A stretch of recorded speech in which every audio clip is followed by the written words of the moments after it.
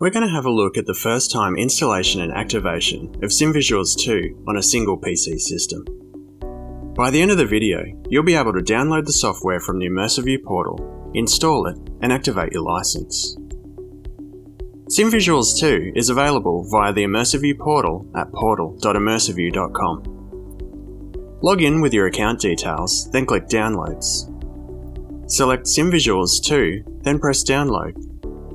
If you require any assistance with your ImmersaView portal user account, contact us via our website at immersaview.com. Double click on the installer to launch. Click Next to begin.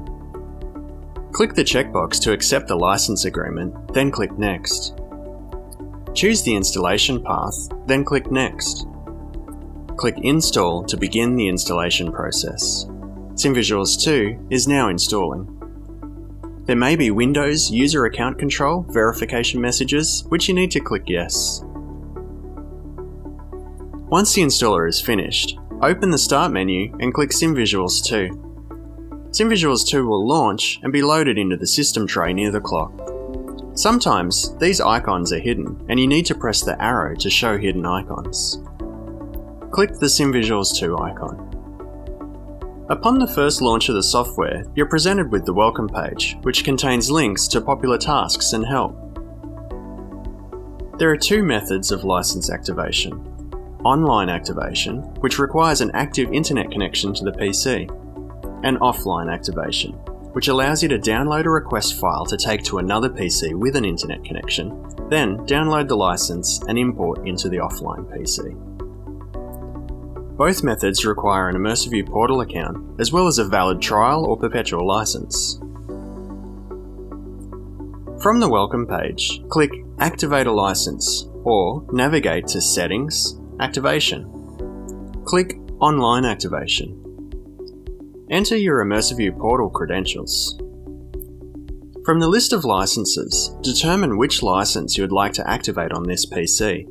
Then, click the key icon.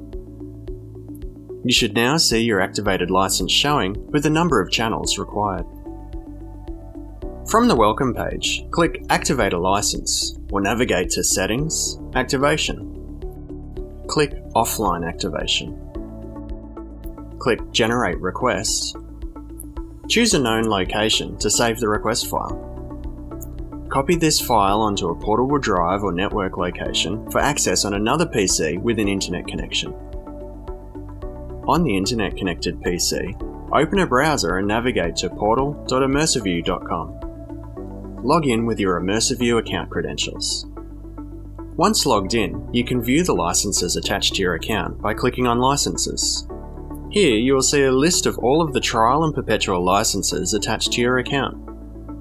Click on the license you'd like to activate on the SimVisuals 2 PC. Click Activate Offline. Click Choose File and navigate to the location of your request file from the SimVisuals 2 PC. Then click Activate Offline.